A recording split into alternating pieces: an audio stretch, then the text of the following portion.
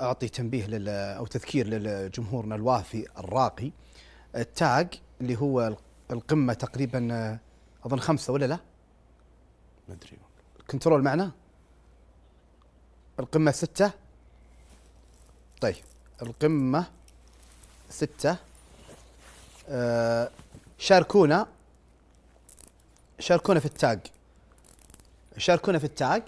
وبناخذ حنا أسئلتكم وطرحكم والأشياء اللي تتناقشون فيها وبنقراها بينما أنا وأبو سعود بنتناقش وبناخذ أطراف أو بنتجاذب أطراف الحديث. مرحبا والله ومسهلا بالجميع. الآن آه، حدثت التاج الآن ننتظر طرحكم. طيب أبو سعود سم ولا يهون السامع والمشاهد. كيف تشوف أنت سير فقرة النشامة يوم انت يوم انت قلدت ال- ال- ال- التقديم فيها أتكلم عن الجهة اللي أنت فيها أو الأيام اللي أنت قدمت فيها. كيف تشوف مسارها؟ كيف تشوف الأعضاء معك؟ مواضيعها؟ محاورها؟ هل في أشياء تقول أنا أبي أسويها آه، مستقبلا؟ أو في أشياء تمنيت إنك ما سويتها أو ما قدمت عليها؟ فخلنا ناخذ ونعطي. والله شوف فقرة النشامة هذه فقرة الحقيقة يميزها شيء واحد يا أبو عبد المحسن. هو شيء فيها التلقائية والعفوية. يا سلام وهذا ما يميزها وهذا ما يميز هذا المجلس. ترى ما فيه قلة مجالس وفي برامج مشابهة نعم. لهذا البرنامج.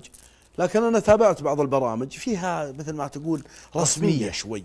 حنا الصب على رؤوس الضوامي على ما قال. يا سلام.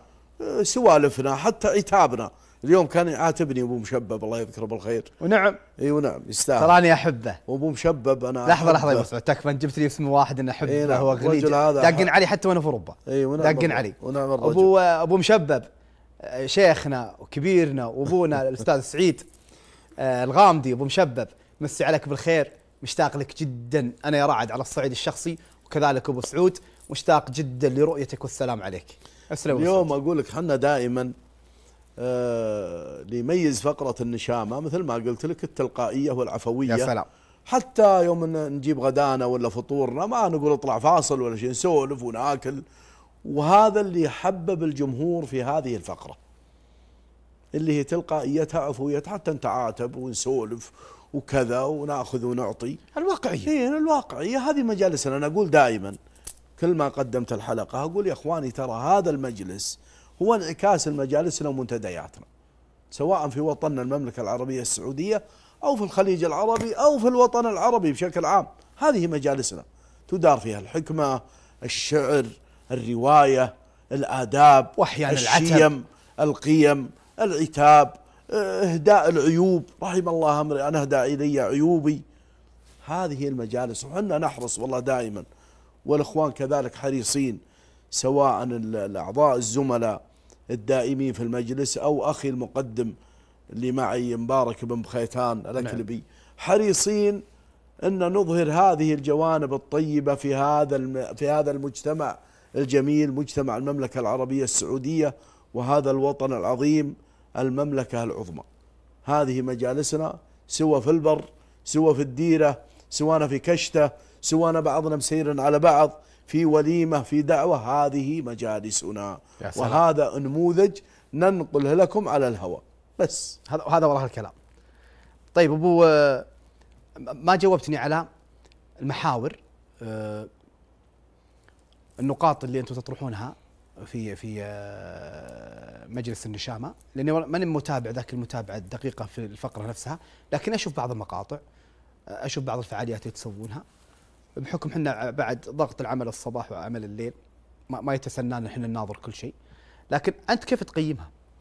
أنا بذكر لك يعني آه، نبذة مختصرة يا سلام. وبنقلها لك نقل على الهواء مباشرة الآن. حنا أنا بالنسبة لي في في الفقرة اللي أنا أديرها بالنسبة لي صار فيه مثلا مختص.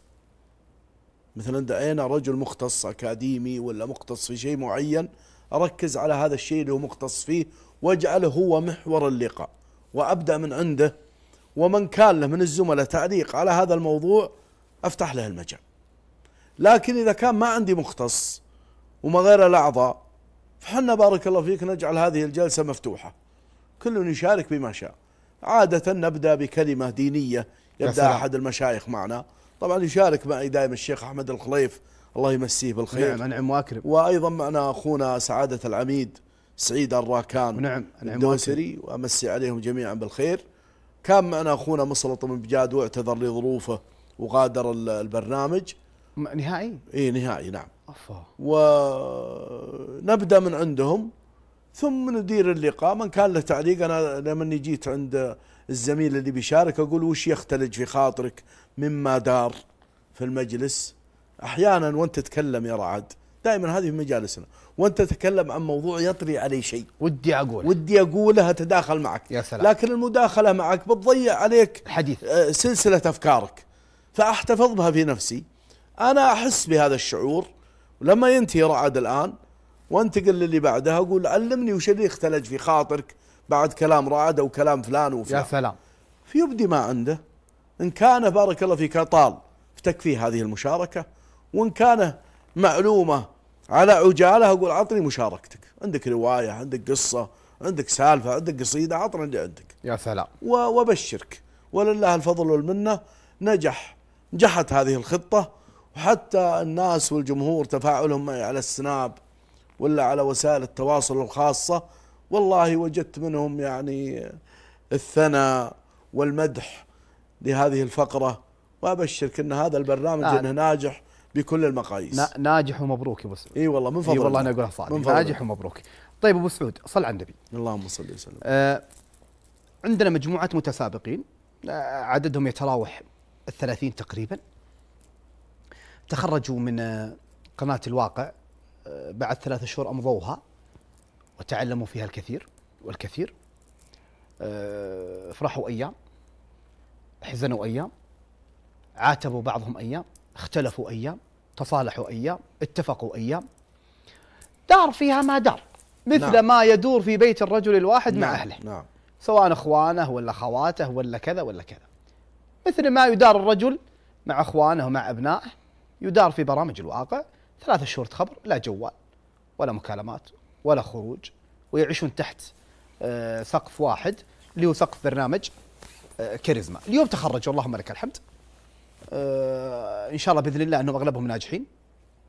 ووصلوا إلى مرحلة جيدة آه، في المجتمع بحيث يكونوا مؤثرين عبر وسائل التواصل الاجتماعي. نصائحك وش تقول لهم يا أبو سعود بحكم سنك كخبرة وكتجربة؟ وش تقول لهم والله شوف لو الآن يسمعوننا الآن وش تقول أكيد بعضهم يتابعنا الآن ومسي عليهم بالخير. لأن شوف آه، قناة الواقع إن كان الناس يشعرون بما أشعر به أنا فهم يتابعونا الآن. يا سلام. قل لي ليش؟ ليش؟ قناة الواقع هي واقعية. ومن أتى إلى قناة الواقع والله أقول هذا الكلام بكل تجرد ما أرجو منه شيء. عرفت؟ يشعر بالانتماء لها. يا سلام. أبناء قناة الواقع. يا سلام. وأنا مرة أرسلت رسالة لأخوي ناصر في موضوع معين. قلت له شوف يا أبو عبد الاله ترى أنا أشعر بالولاء لقناة الواقع. في موضوع عرضته عليه وقلت ترى ممكن الموضوع ذا عرضه على ناس ثانيين لكن أنا بعرضه عليك أنت بحكمك بحكم أنك أنت رئيس قناة الواقع وأنا أشعر بالانتماء لقناة الواقع. يا سلام. خلني أخرج من هذا الكلام وأرجع للمتسابقين. المتسابقين من دخل في قناة الواقع يشعر بالولاء لها ويتابعنا الآن. ومسي عليهم وأقول ما وصلوا إلى برنامج كاريزما في قناة الواقع إلا أنهم حمران عيون ومطاليق. يا سلام. يا لأن سلام الرجال وأنا أخوك تعرفه يقول يدلك على الرجال هرجه يا هرج يا سلام. ويدلك على مكنون قلبه حركاته. الرجال ما تحكم عليه من الغترة والثوب. يقول غازي بن عون المرجلة ما هي بالهرج والمنى وبيض الثياب وغترة البسام. المرجلة تبغي صميدة يونس على فعل الجميل إعرام. يعني الشباب ذولا داحموا وتعبوا ونافسوا. وطلعوا من مجموعة كبيرة وتم اختيارهم لهذا البرنامج هل تظن إن هذول هم بنخبة؟ إلا ألا تظن إنهم صفوة؟ الا أكيد. صفوة. وجودهم في هذا البرنامج أظهر أجمل ما عندهم. أظهر أجمل ما ما عندهم. وجدنا اللي بارك الله فيك يبادر الشيبان بزيان القهوة سلطان ثقيل ويجي مع معاميله يصبح عليهم بالخير ويسوق الطيب عليهم كل صبح لقينا الشباب الثانيين كل في عمله. عمل دؤوب. لقينا المبدع. لقينا الحافظ للشعر. الحافظ للرواية. اللي يتميز بخفة النفس. اللي يتميز بروح الدعابة. وش أظهروا أجمل ما عندهم.